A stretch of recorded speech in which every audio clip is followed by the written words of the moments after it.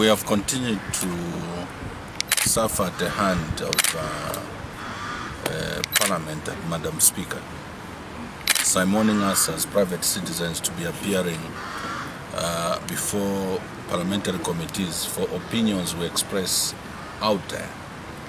We have advised several times that, um, first of all, Parliament, presiding officers at Parliament are not above reproach and citizens of the Republic of Zambia, including myself, we are bestowed with the right and freedom of expression. Good afternoon, sir. Good afternoon. We don't allow interviews here. Since when? Yeah.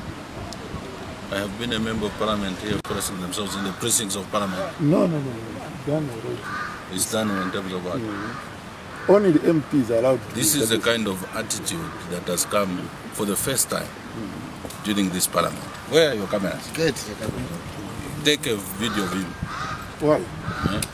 This attitude of beginning to make the People's Assembly become sacred, Sacred of what?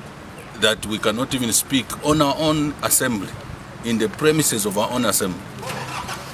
I have as much right to this assembly as anybody else. I cast a vote to have representation here, just like the millions of Zambians.